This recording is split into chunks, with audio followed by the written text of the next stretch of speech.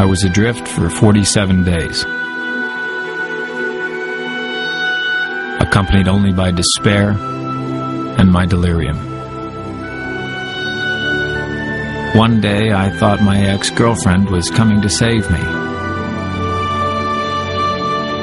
And then somehow I was in Venice. I thought maybe even a sea monster was following me. And I even believed my daughter had come to take me home. But in reality, the wind changed and blew me into the shipping lanes. So it was nature that saved me.